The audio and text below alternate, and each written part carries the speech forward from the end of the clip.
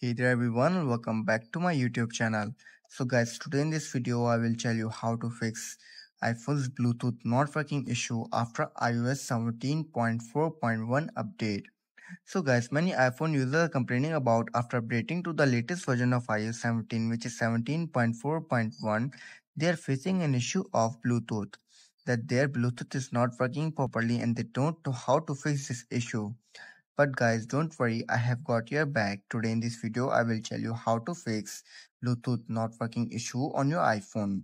So guys, without wasting your time, let's start the video. Our first step is to check for Bluetooth settings. Start by ensuring that Bluetooth is enabled on your iPhones. You have to go to the control center and you can see option Bluetooth. If it's blue, then it's enabled. And if it's gray out, then simply tap on it and enable it.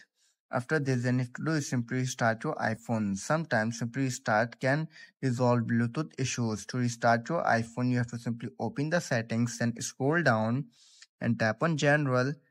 Again, you scroll down and then tap on shutdown. Shut down your iPhone and then restart it after 15 to 20 seconds later. After restarting your iPhone, then you have to do is simply forget and repair the Bluetooth device. If you are having a, blue, a trouble connecting to a specific Bluetooth device, example headphones, speaker, car audio system, etc. Try forgetting the device and then repairing it again. To do this, you have to simply go to the Bluetooth and go to the device which is causing the issue and tap on I icon. Now tap on forget this device, tap on forget device and then again tap on forget device and forget it and then reappear it again. So guys after trying all of these steps and still facing the issue then there will be some kind of interference which is causing the Bluetooth to not work.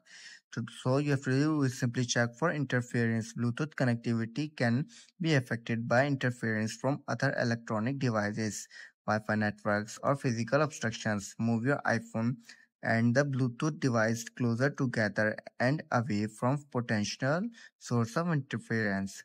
So guys, after trying all of these steps still facing the issue, then I will suggest you to do reset your network settings on your iPhone.